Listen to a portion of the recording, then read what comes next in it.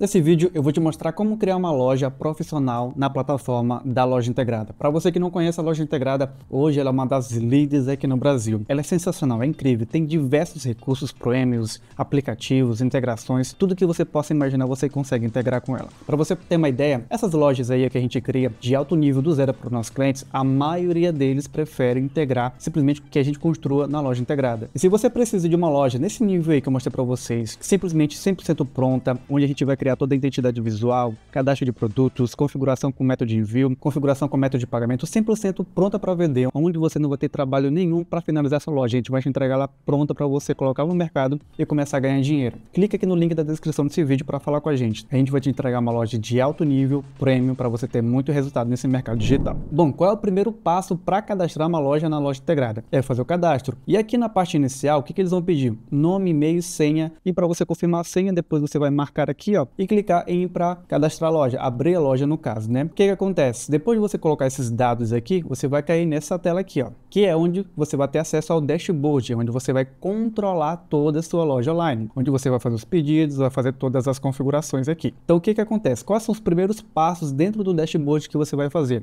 A primeira coisa é criar um produto. Essa parte aqui para mim já está um pouco é, oculta, por quê? Porque eu já fiz esses passos aqui, mas eu vou te mostrar em cada vídeo passo a passo do como fazer essas etapas aqui. Mas os primeiros passos é criar um produto, é simplesmente você aqui, ó, entenda como funciona o frete dessa loja e entenda como você vai receber as suas vendas. Então, você vai ter que fazer essas integrações aqui, ok? Feito isso, o que, que você tem que fazer ao se cadastrar na loja integrada? Você vai clicar aqui ó, em configurações, em geral, e você precisa personalizar esses dados aqui para que você entenda como é que funciona, como é que irá funcionar a sua loja. E aqui, ó, em configurações da sua loja, o que, que você vai fazer aqui? Ó? Loja e manutenção. Isso aqui você só vai deixar marcado caso você queira que o seu cliente, ao acessar sua loja, ele simplesmente veja aquela frase dessa loja que a loja está em manutenção. Por quê? Porque assim que você faz um cadastro na loja integrada, você já recebe uma loja. Ela é feia? É. A gente vai deixar ela bonita mais para frente, tá? Mas quando você recebe a primeira loja, você recebe ela muito feia. Deixa eu mostrar aqui para vocês, ó. Clicar aqui, para a gente visualizar ela. Mas olha só como ela fica feia. Ela fica simplesmente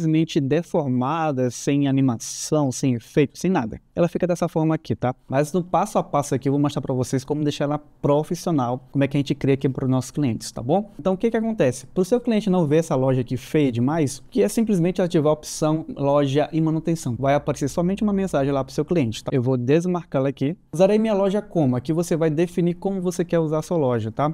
Eu vou clicar aqui, ó. Você pode usar ela como loja virtual, como catálogo sem preço, ou seja, se você trabalha com atacado e cada preço varia de cliente para cliente, de estado para estado, você pode trabalhar apenas como catálogo, como se fosse uma revista no caso, né? Catálogo com preço, orçamento, ou seja, você vai fazer orçamentos, o cliente vai ter que clicar lá e vai fazer um orçamento para ele. Pode ser um serviço, pode ser qualquer outra coisa. Sem preço e com preço, você tem essa opção aqui. Eu vou trabalhar como loja virtual. Lembrando que esses outros recursos aqui só vão estar ativos para você se você tiver estiver no plano pago. O plano gratuito você só tem direito à loja virtual. Próximo número de pedidos na sua loja será? Aqui é uma sacada bem interessante. Digamos que você simplesmente quer transparecer para o seu cliente que você não está começando agora, que você já é uma loja profissional. Então o que, que você vai fazer? Você vai simplesmente dizer aqui para a loja integrada, olha, eu quero que os meus primeiros pedidos, a sequência deles comece a partir de mil. Então quando o cliente receber a notificação lá que quando ele fizer uma compra na nossa loja, vai chegar lá, ó, pedido tal. Digamos que ele seja o pedido mil, vai chegar lá, ó, seu pedido número mil foi feito com sucesso. E o cliente vai ter uma leve percepção de que ele não é o primeiro a comprar na sua loja, entendeu? Ou seja, a sua loja já fez mais de mil pedidos. Isso aqui é uma, uma sacada interessante para você dar uma, gerar um brand para sua loja, mostrar que já há bastante tempo no mercado, não é uma loja nova, para o cliente se sentir mais confortável comprar na sua loja, tá bom? Valor mínimo do pedido. Isso aqui você vai escolher qual é o valor mínimo. Ah, mínimo que o cliente pode comprar na minha loja é R$ reais. Mas se você tiver produtos abaixo desse valor, você pode deixar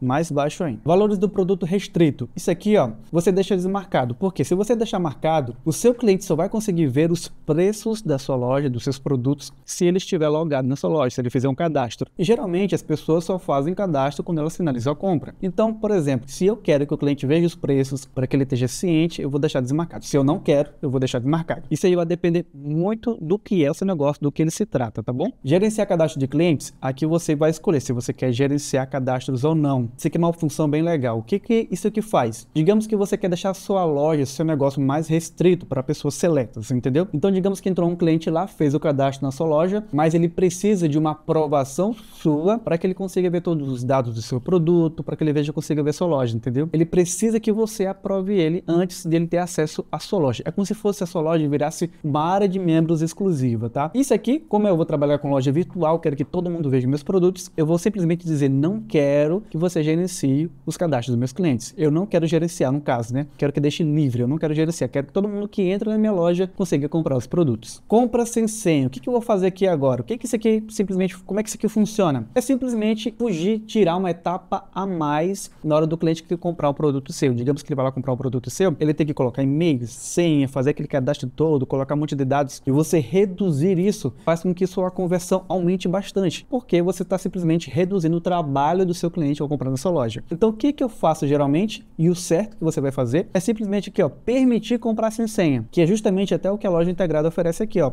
Ela diz aqui para você, ó, comprar sem senha torna a experiência de compra mais fluida e ágil, ou seja, mais rápido. Você quer o quê? Vender, entendeu?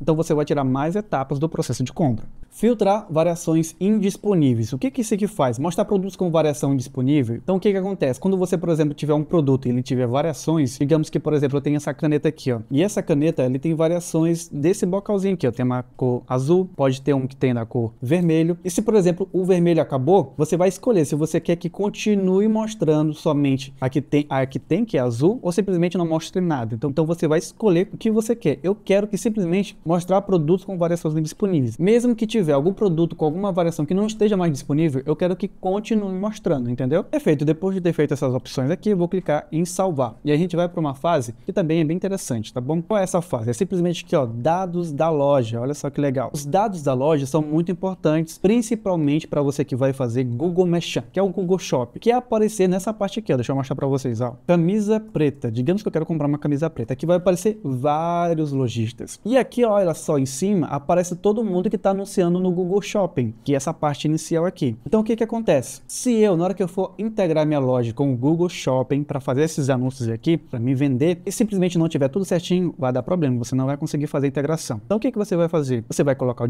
o endereço certinho aqui, a rua, esses dados aqui de endereço e esses dados aqui da empresa tem que bater certinho na hora que você for fazer essa integração. É muito importante que todos esses dados estejam corretos. Agora vamos fazer aqui outro passo que é muito importante. Por exemplo, aqui, ó, dados da loja. Qual é o nome da sua loja? A minha loja se chama Use Silver. Então eu vou colocar aqui, ó, Use Silver. Qual é o título que você vai colocar para aparecer lá no Google? Ó, será mostrado na aba do seu navegador e na página do Google. Deixa eu te mostrar isso aqui na prática, como é que funciona. Eu pesquisei aqui a loja Centauro e é exatamente o que vai acontecer aqui, ó. Essa parte aqui, ó, que é o nome da loja, vai aparecer aqui, ó, nome da loja, ó, essa parte aqui. E essa parte aqui de baixo, ó, descrição da loja é justamente essa parte aqui, ó. Loja de tênis, roupa fitness, aparelho e tudo mais. Então vai aparecer aqui embaixo. Então o que, que eu vou fazer? Silver, loja de roupa loja de relógios masculinos, loja de relógios masculinos. É isso que eu quero que apareça justamente aqui, ó. Centauro loja de esportes. Eu quero que apareça aqui. E aqui embaixo eu vou dizer aqui a mesma coisa que a Centauro fez, ó. Loja de tênis, roupas, fits, então você vai descrever aqui. O que, que eu recomendo aqui para vocês? Usar palavras-chave para que você possa ser ranqueado da forma correta. Sempre que uma pessoa pesquisar por relógios masculinos sobre a sua loja, você ter essas palavras-chave nessa descrição e no título é muito importante. Então o que, que eu vou fazer, ó? Loja, a loja,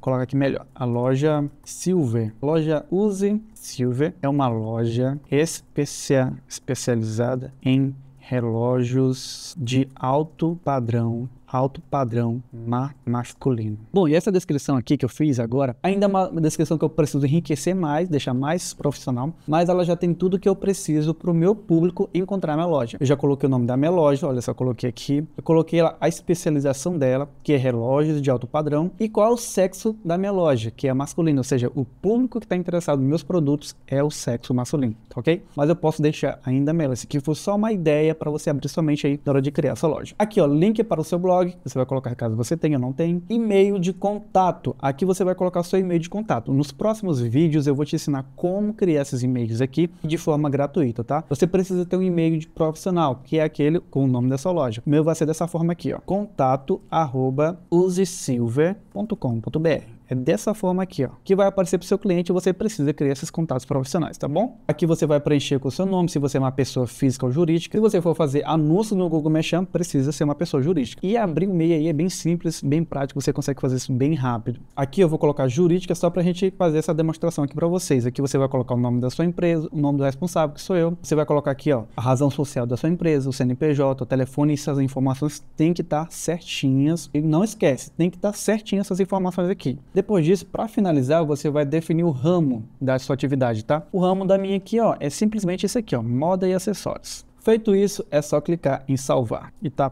tudo pronto nessa primeira parte aqui. Bom, espero que você tenha gostado desse vídeo. Deixa aqui nos comentários se ficou alguma dúvida, que eu vou estar tá respondendo, tá bom? se você precisa de uma loja profissional de alto nível para simplesmente começar a vender nesse mercado sem você precisar fazer nada nesse mesmo nível que eu já mostrei para vocês, eu vou deixar o link na descrição para falar com a gente, tá bom? Bom, e agora eu te vejo nos próximos vídeos, onde a gente vai começar a criar produto, simplesmente configurar gueto de pagamento, melhor review, todas essas partes que faltam para você colocar sua loja no ar, tá bom? Fique com Deus, um forte abraço e até mais.